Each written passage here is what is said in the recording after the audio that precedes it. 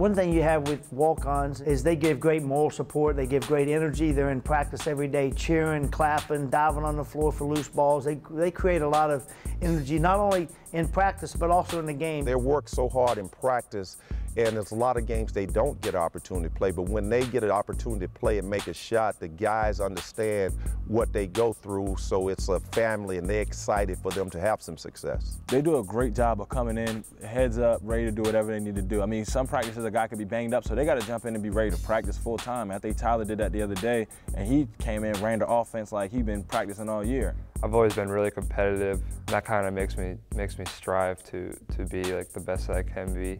Um, and I, I, just love coming out here and, and, competing every day with some of the best players in the nation. I think Tyler is a great young man. He's been a joy having around here uh, this year, being a freshman. Uh, he's a very hard worker.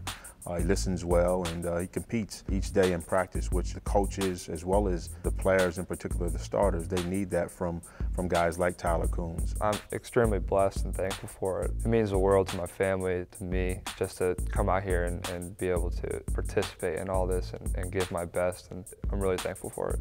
This year we added uh, Ike and uh, Robert to our uh, team and those two guys are bringing a lot of energy, and the guys really love him. Rob's one of the hardest workers on the team, I'd say. So he uh, he comes in and works like that, and it just like rubs off on everybody else. I've been uh, wanting to try out for uh, UCF basketball team.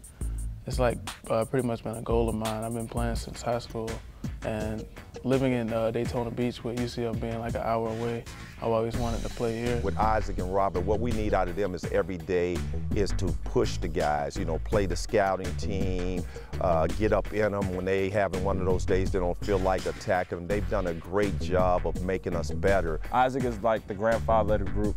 I would say father, but he's probably like older, like times two than anybody else.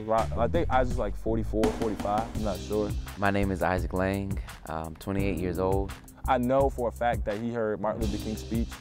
I know he was there for that. They jokingly call me Pops or Grandpa, but instead of uh, running from it or you know, seeing it as something negative, I, I, I, actually embrace it. I like it because it, it helps me relate to them that sometimes the coaches might not be able to. We call Isaac Lang Pops, Grandpa, Old Timer. Pops, yeah, pretty much. I mean, his story is pretty incredible. It's just how he ended back up here at UCF. What made me stop playing basketball? Uh, my parents passed away. My junior year, my mom. My senior year, my father. I just chose to take some time away from basketball and focus more on my family. That's a great role model for us when it comes to, you know, a, a really happy family, and they're doing a good job. I have a family of three, uh, two boys, one girl. It's something that um, I cherish every single day, knowing that they're there to see me do what I love.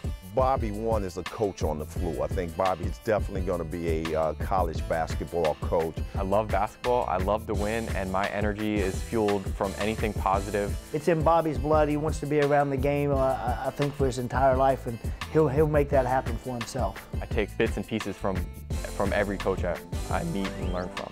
Bobby's a learner. He wants to learn not only what players do and what they think, he wants to learn what the coaches do and what we think as well. And, and that's what it takes to be a good coach. You always have to be doing your homework, learning, and trying to ask questions so you can become more knowledgeable about the game and how players are. He's taking full advantage of the opportunity that he has to be around people like Coach Jones, Coach Brendan Suhr, Coach Finney, and others on the staff, uh, and is really taking everything in. And I think uh, one day he'll benefit tremendously from that what it comes down to, I just want the best for our team. And a lot of times they don't get rewarded with playing time, but what they do off the court or in practice, it really has helped our program. I think they're, they're invaluable to any program when you have walk-ons that can contribute that way.